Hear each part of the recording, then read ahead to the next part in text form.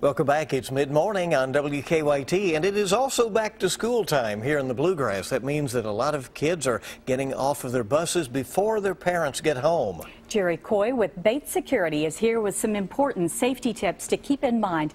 And we welcome you. Glad to have you now. Thank you very much. I appreciate it. What are the kinds of things you should talk to children about uh, when they're going to be uh, at home alone? I think the most important thing is that the kids go straight home once they're they get off the school bus or whatever.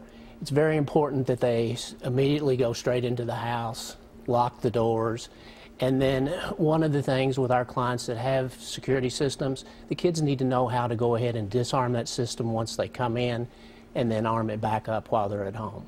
Uh, there's also the option of remote devices to do that. Tell us about that. Yeah, remote devices with technology today has come a long way in our industry literally uh, smartphones become a portable keypad wherever the parents are. When the kids actually come in and disarm the system, mom and dad can get a text notification knowing that they have come in.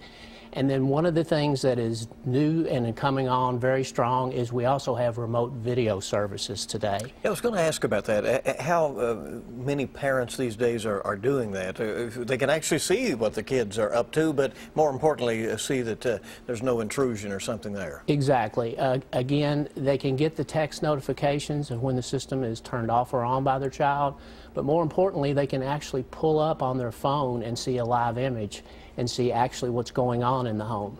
Uh, a lot of our clients really like that for their pets mm -hmm. as well, yeah, in addition right. to their kids. Well, I hadn't thought about that part, but it would work for the you, pets You too. might discover who broke the lamp, though, right? Uh, do your do your clients tell us that because of this, that they they have a, a greater sense of security? Do, do the kids enjoy it more and feel safer at home? Absolutely. Uh, you know, a couple of other safety tips that we would like to put out there is this: is with social media today, it's very important that parents know what's going on with their kids with social media. They need to make sure that the privacy settings are set. Uh, they need to make sure what their daily posts are because that in itself uh, has become a huge issue. Too much information. uh, too much out there. Out there. Uh, if people uh, are interested, uh, I'm sure that you would enjoy, and any professional in this business would enjoy sitting down, kind of talking through what options are available for uh, securing the home. That is absolutely correct. I mean, we take a very consultative approach with each individual client, that potential new client that we meet with.